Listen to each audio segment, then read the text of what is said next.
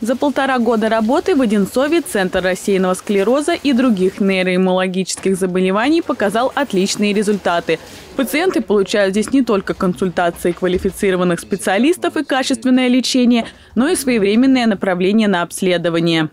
Благодаря деятельности администрации Одинцовской областной больницы, которая всегда нас очень поддерживала, нам удалось собрать под своей крышей огромное количество пациентов с рассеянным склерозом и другими нейроиммунологическими заболеваниями.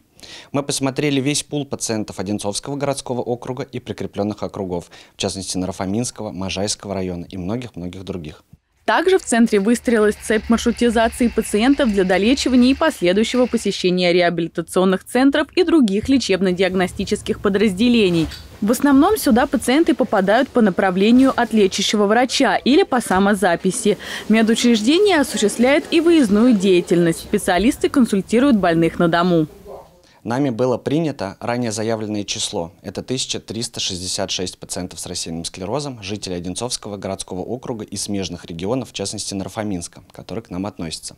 Кроме этого, мы также стали своеобразным орфанным центром. К нам обращаются люди с прогрессирующими неврологическими заболеваниями, которые встречаются особенно редко и требуют чуткого, порой неординарного подхода.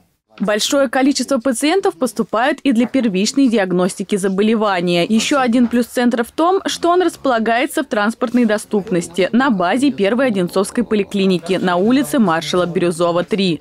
Екатерина Крамер, Станислав Трифонов, телекомпания «Одинцова».